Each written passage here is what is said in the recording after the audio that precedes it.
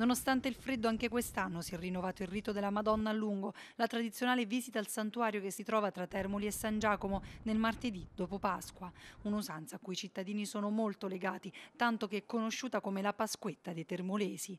Nel santuario un tempo si svolgeva il pellegrinaggio per chiedere una grazia alla Vergine e pregare ai piedi della statua della Madonna della Vittoria.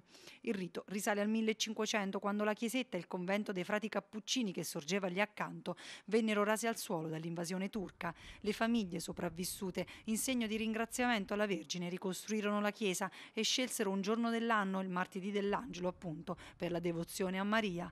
Il tradizionale picnic sul prato oggi è davvero improponibile per il freddo, ma non mancano alcuni coraggiosi. Con questo tempo non rigiungeremo mai. Alla Madonna lunga neanche con la pioggia ci rinunciamo. Che cosa fate oggi?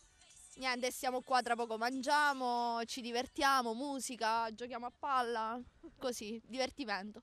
È una tradizione che da anni si fa e noi anche con Maltempo ci siamo sempre, sempre venuti, fin da quando eravamo piccolini, ci siamo sempre messi tra l'erba con tutti quanti i ragazzi. Da tanto, eh, eravamo ragazzini e c'era una bellissima ricorrenza che era quella della scampagnata. Il lunedì di Pasqua per noi non era festa, era festa il martedì e quindi si veniva con gli amici, con le famiglie, prima quando eravamo più piccolini, poi con gli amici, con i compagni, insomma venivamo comunque a passare una giornata all'insegna del, del weekend, no? della, della giornata in campagna. Pochi affari anche per i venditori ambulanti, c'è però chi approfitta per la visita al santuario per comprare un panino. Si vendono oggi i panini? Eh, un pochino, perché fa freddo, quindi oggi ha nevicato pure qua un po'.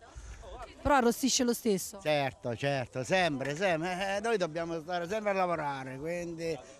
Qual è il panino più venduto? Il torcinello, panino col torcinello è più venduto. Bravo.